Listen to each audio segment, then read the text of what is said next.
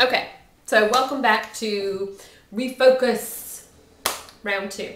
Um, so as I said uh, in my video just then, I have not been working my sleeve. And a couple of things that they say are kind of the rules of the road around um, having effective weight loss with weight loss surgery. One is protein first, two is drink your water, and three is exercise. Um, if you'll remember, I think it's a couple of videos back, I'm not sure if I even talked about it. So I went to Argentina um, end of October for a friend's birthday and ate more red meat than a normal human being should, even with a teeny tiny tummy. Ate more red meat. And so when I came back, I was kind of grossed out by the whole concept of meat. And I decided to go vegetarian for a while.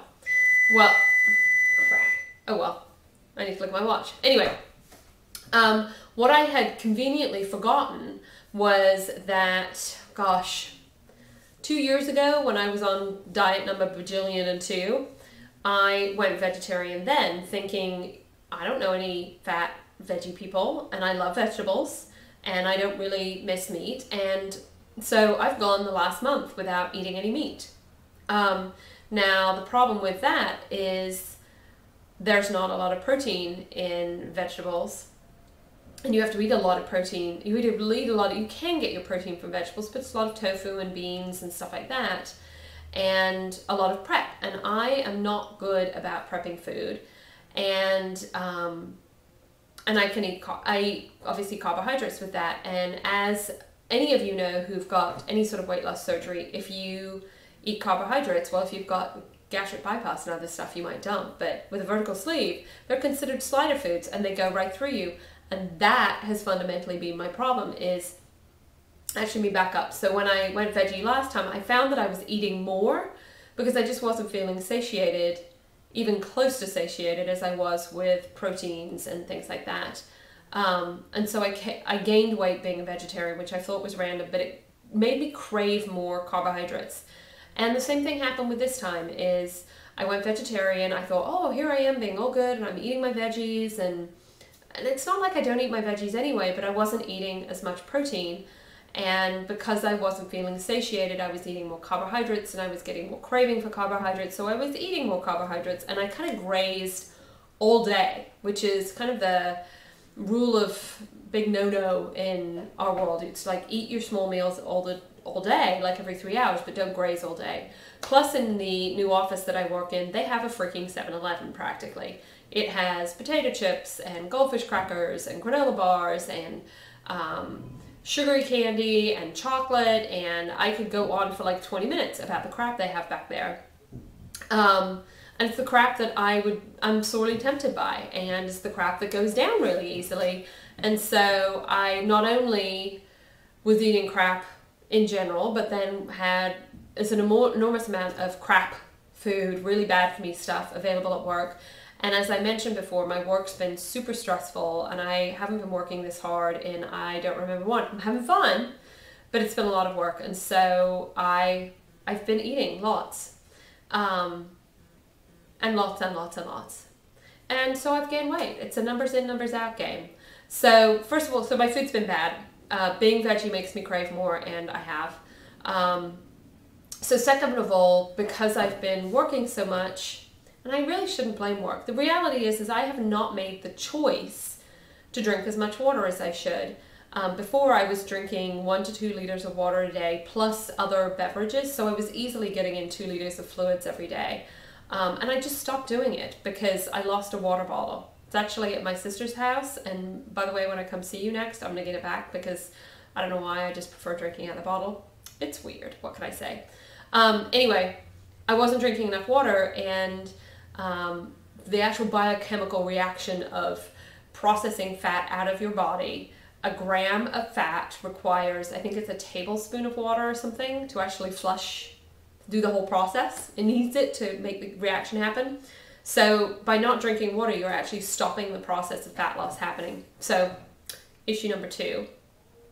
Issue number three, I've been traveling like a mad person. Like uh, I just got back from an eight day stint where I went from San Francisco to New York to LA to Las Vegas to Chicago to New York back to San Francisco. And there was one 48 hour period where I didn't actually even sleep in a bed. I was doing red eyes and all of that good sort of stuff. So, not shockingly, um, I didn't work out that very much. Um, I haven't been running. I haven't been getting up and running in the morning the way I used to. Um, and I was, because I was eating crap and I was feeling tired, I was all burned out and cyclical, cyclical, cyclical. Um, I wasn't exercising as much. And yes, I actually ran the Las Vegas half marathon two weeks ago, but you know what? I stunk. Or at least in my book, I stunk. Um, I still finished a half marathon, so I'm still physically fit, but I'm not doing the regular exercise, which gets the endorphins going and makes you feel better and all of that sort of stuff. Um, and then I wasn't focusing. I wasn't weighing myself daily. I wasn't writing down what I was, well, I never really written down what I was eating, but I wasn't focusing on my goals. So I was doing all four things that you could do to kind of screw up your weight loss right here. So, what did I do today? Because I was on plan today and I was focused. I actually got up this morning and I thought about it really hard last night. I was like, you know how to do this. You feel better when you do it. I laid all my clothes out. I got myself ready and I got up and I said, even if it's just for 10 minutes, even if you sleep in and it's just for 10 minutes, do something. Um, and I got up and I ran four miles, which is a little short for me, but at least I got up and did something, and it's still four miles, which I'm pleased about.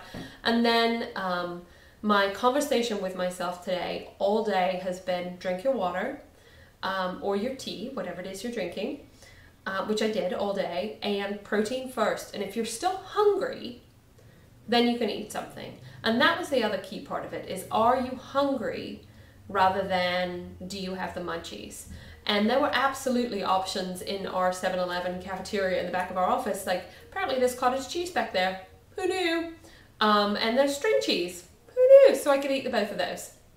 So I've eaten um, protein. I actually started my day with a shake to really um, to kick things off and then I've been protein first. And I'm actually, because I now actually, I'm not hungry hungry, but I certainly have the munchies. I've just steamed some Brussels sprouts um, so I can have some vegetables as well. So I don't feel like Brussels sprouts is necessarily cheating.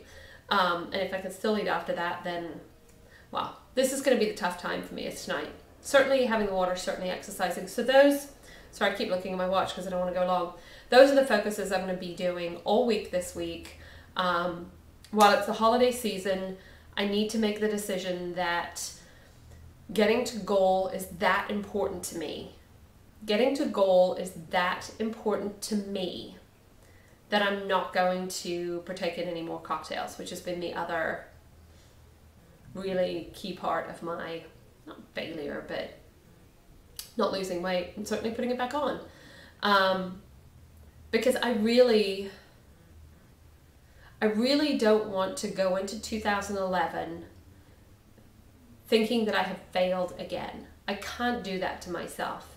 And I have, what is it, the 15th? I have 15 days, it's the 15th, 14th, whatever. I have like two weeks of the year left to make myself feel like I have accomplished something this year. And I know I have, but I don't want to be in this place mentally. So you will see me next Monday with a video with how much I have lost. And yes, it's going to be a shitload of water weight. And I'm okay with that because my clothes are still fitting. I know that this is just a water weight issue and um, continue on my goal. And I will continue to do this until I'm at the 125 pounds. And you know what? I may be boring as toast um, in a couple of videos, but I will be weighing in and telling you where I am and trying to focus and talking about all of the path that I'm going down. And I hope you will join me on the journey.